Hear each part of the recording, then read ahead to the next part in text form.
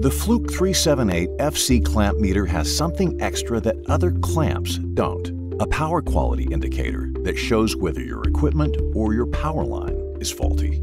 This means you can spot power problems quickly, something you can't do with other clamps. Simply connect the black test lead to any earth ground, clamp the jaw around the conductor. FieldSense technology collects voltage and current values. While doing so, the clamp senses power problems and shows you if there's a current, voltage, or power factor problem. The meter does this by checking the total harmonic distortion of voltage, current, and power factor. If it exceeds a certain threshold, the annunciator shows up. The Fluke 378FC allows you to set the sensitivity thresholds to low, medium, or high based on your needs.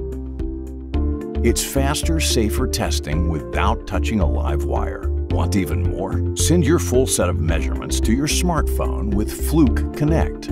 Make a full set of three-phase measurements with just three quick clicks around the conductors. Fluke clamp meters with FieldSense technology. Measure your voltage and current simultaneously with your clamp jaw.